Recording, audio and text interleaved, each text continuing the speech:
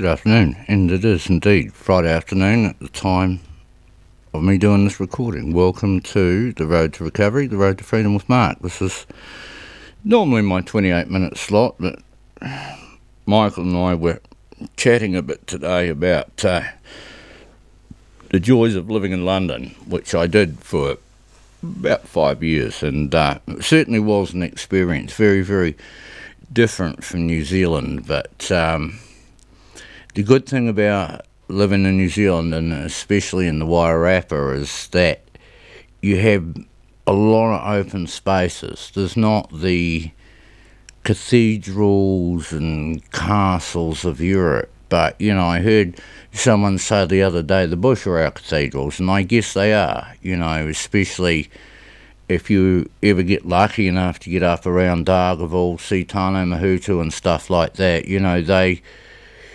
great creatures like that are really truly moving and you know awesome places um, not just places like cathedral cove and spirits bay but you know also the forests of the west coast of the south island you know there's so many beautiful places. And if anything i think COVID 19, this pandemic that's ravaged the world, has forced us in some ways to look around us and our country instead of thinking about jumping the ditch and going to Queensland or, or the Gold Coast or whatever.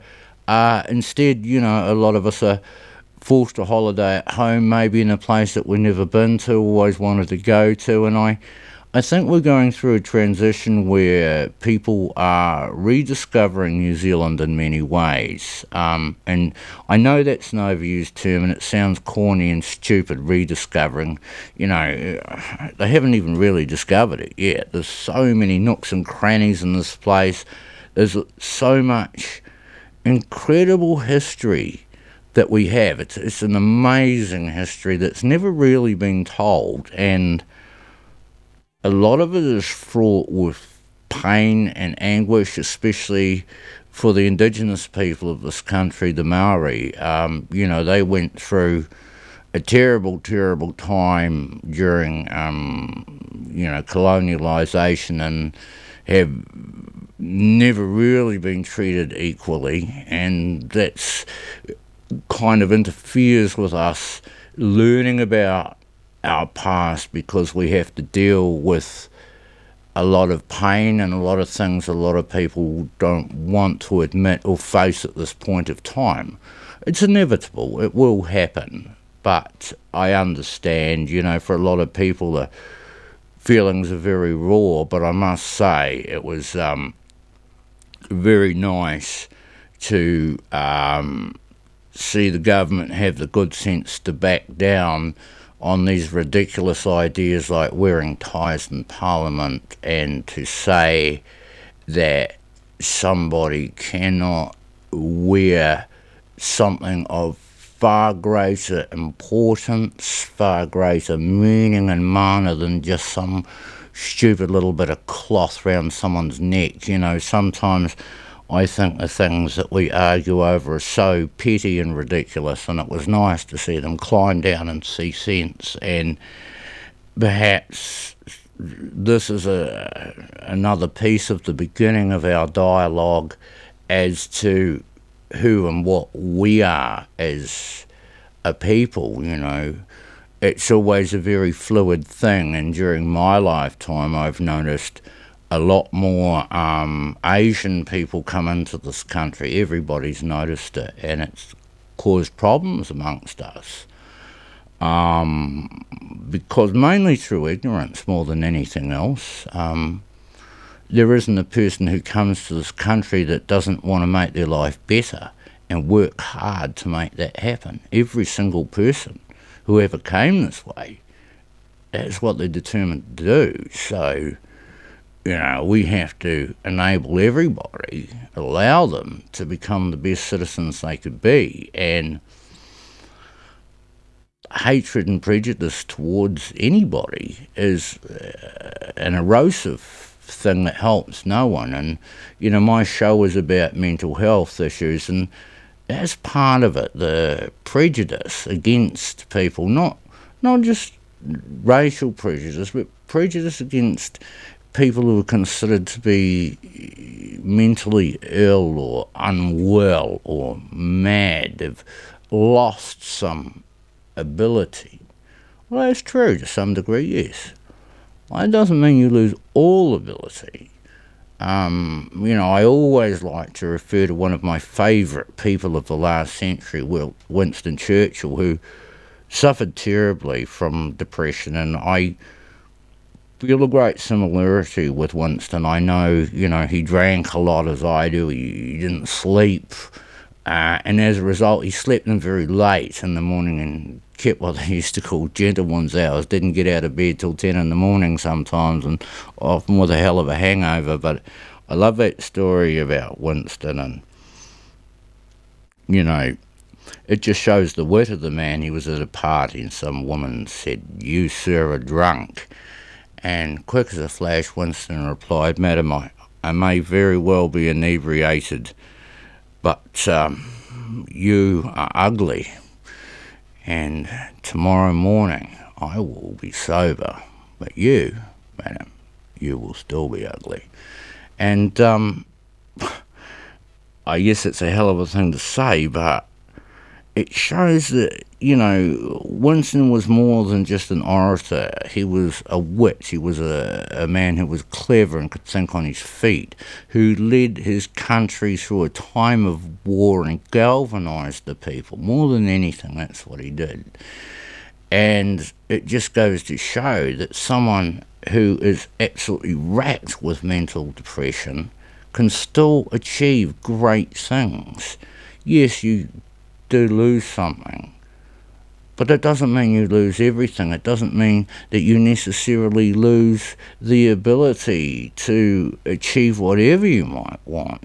It just means that you got a bit more of a setback than most. But hell's bells, there's people with no legs, you know, that make the, the greatest achievements you've ever seen go on to win gold medals and uh, are never defeated. I saw the story on the telly the other night about this poor woman who lost a good part of her arm and you know despite the pain she's learned to paddle a kayak and she's doing the coast to coast. And you know I think isn't it amazing that someone can drive themselves so hard and make such a great achievement despite the odds despite the pain? And it it really comes down to what's going on in your head. And a lot of that is true of mental depression. Um, it's very easy to say to somebody, snap out of it, but when you are in the depths of depression,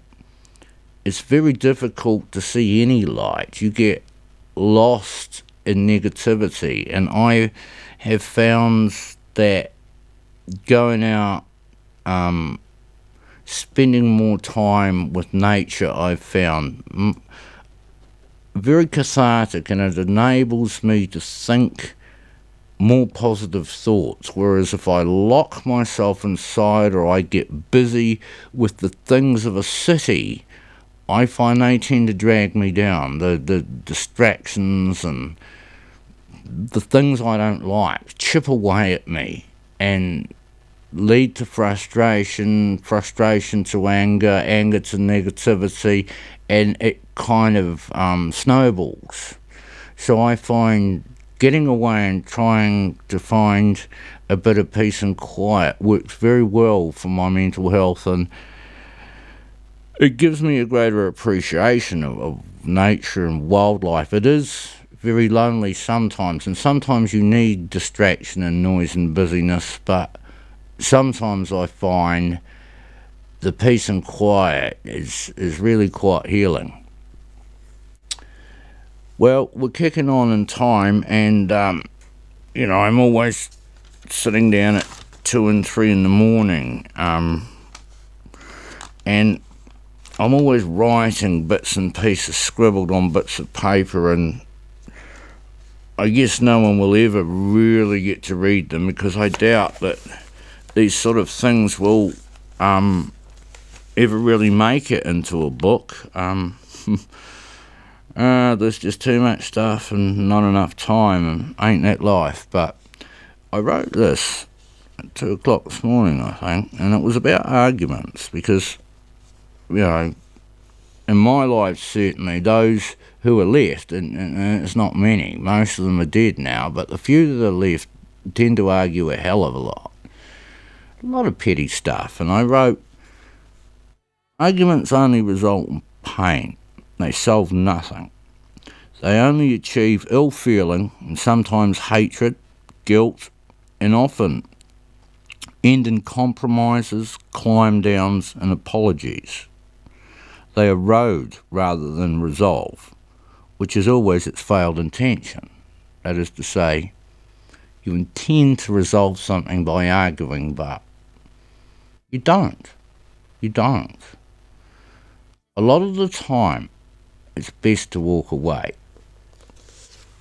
Whatever it takes, turn your back and just walk away and have a breather rather than losing your temper and lashing out. People who suffer from mental health, and, and remember, not everybody suffers the same. Some people have anger issues, and if you nag and nag and nag at them, they just explode and start bashing people. And folks often get into this little game that they play where one winds up the other until they explode, and it's almost like, you've hurt me, so I'll get you back. And when you get into that kind of role playing, it can often end disastrously.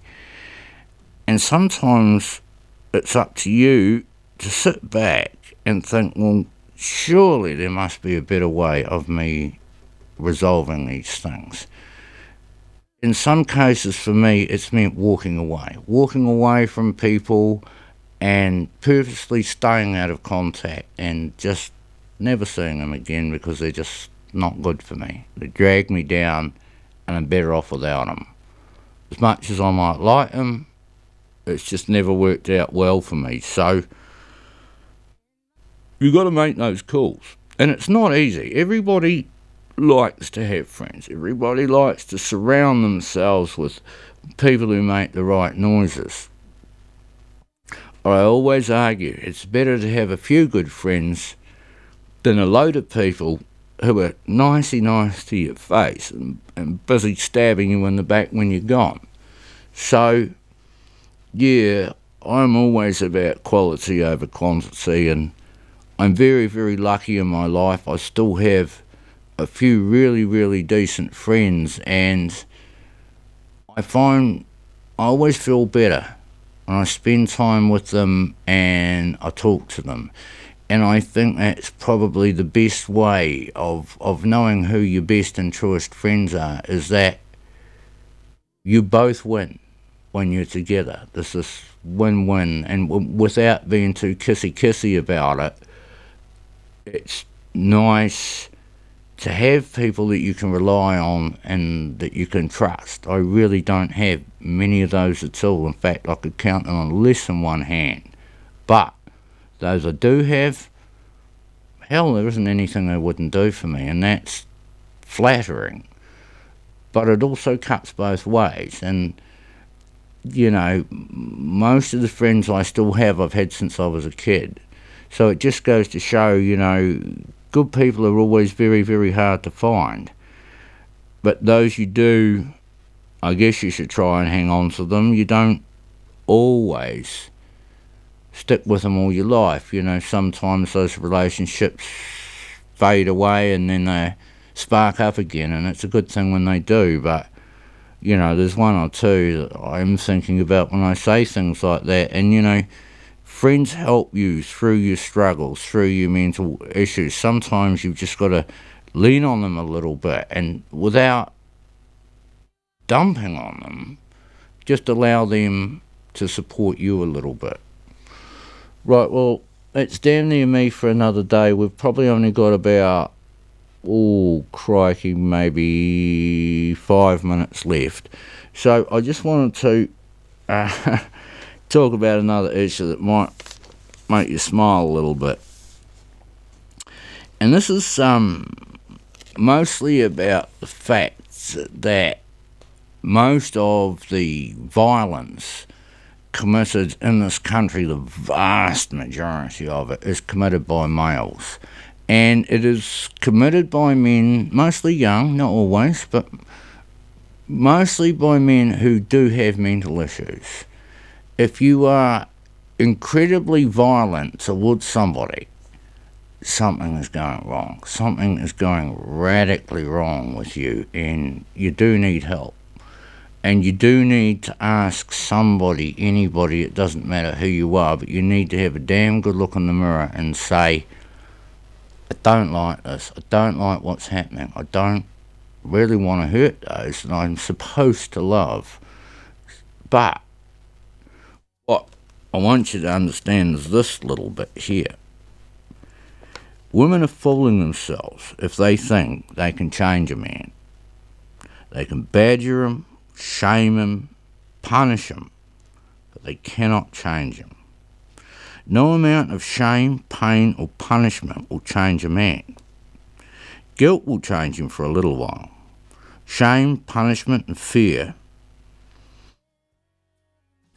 well, of more, will last longer, but sooner or later he will revert to type. Nothing will change the man only the man can change the man. He has to want and need that change fully and completely. Only then can he experience real and permanent change for the better. And when I'm talking about I'm talking about me personally. You know, I have been a lot worse in the past than what I am now. Let's just put it that way. You know, I've done a lot of regrettable things, especially when I was young. And I've met one or two good women in my life who tried to change me for the better. They didn't.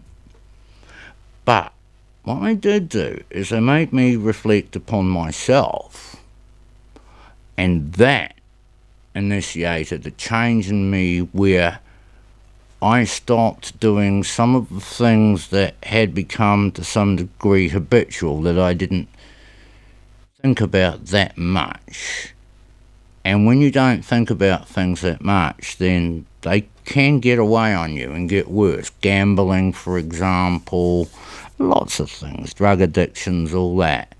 And once you get into that moment of denial, I don't have a problem. you know that you do. Um, that's the point where you've got to say, this has to stop now for good. And that's an awfully hard thing to do because you have to fight that battle every single day. It never really goes away. But it is doable. And, you know, it leads you to a better place mentally. And that's what I'm all about. And that's why I try and encourage people to do. Right, well, it's time for me to wrap up the show for another week. I Thank you for listening in. I realise that it's uh, that I talk a lot. I realise that, and I talk almost non-stop. What I hope that you appreciate is I only have 28 minutes in which to squeeze in a hell of a lot, and I could say a hell of a lot more if I had a chance. But um, this is all the public airtime that I'm allotted in my life, and I'm very grateful for it because Arrow radio station allows me to do this gratis, right? It costs me not a bean. It costs them. They go out of their way to allow me to have a voice, and that simply comes down to the kindness of Michael and Veronica here at, at Arrow Radio, and and also comes down to the fact that to some degree the sponsors, New Zealand On the Air and Tents Trust and all those good people who keep this place afloat, um, you know, they're they're supporting us as well. And Wairarapa TV, you know, it's wonderful that they've come on board and now, you know, we're shooting across the tally as well on the internet, on the airwaves. It's there, but unfortunately not well known. And I really would appreciate if you could tell your friends about public radio because it's far more interesting than the commercial stuff. You're only going to hear those old hits for a thousandth time, and a lot of it is just dalliance. You know, it's just distraction. Tap your feet, nod your head, thanks for coming, goodbye. Whereas to me, um, I find that stations like this are far more thought provoking. They give you something to think about. People who wouldn't normally have a voice. I mean, there's no way that I would ever be on national TV saying what I say, but in public access radio stations like this, you know, not for profit organisation at that, they're not trying to make money out of you. They're trying to bring something to you that enriches your life, makes you think, broadens your horizons, is to some degree provocative, but most of all interesting and all about the community. Um, and to that end, I'd just like to say a big hi to everyone up in the Hawke's Bay. It's lovely to have you along now as part of our family, and to all the good folks, the Wairarapa, all the way from Ngawi right through. Um, unfortunately, um, we can't get it over in Pahiatua, which which is a damn shame. But we'd love to see um, us expand up that way. But certainly, um, the people of Wairarapa and, and the Hawke's Bay are very privileged to to get such a great radio station. Um, I would argue that Arrow's the best going, but yeah, I guess that's uh, that's just my opinion. But yeah, she's a pretty good thing. All right, that's me for another week. Thank you for tuning in. I hope you enjoyed, and um, I will at some stage get back to my my stories of my adventures around the world. I know people like them, and every now and then someone listens to them and thinks, "Oh my God, I'm in that story," uh, because they are true stories about real people. Um, there is some degree of poetic license, but not a hell of a lot most of them are pretty real. And, you know, I've been very privileged to live a great life. I, I'm poor as a result, but I'd rather be poor than happy than rich and sad. So that's my final thought for you. And I hope you have a good week. Look after each other. And um, I'll see you again next Friday. Ciao for now. Cheers.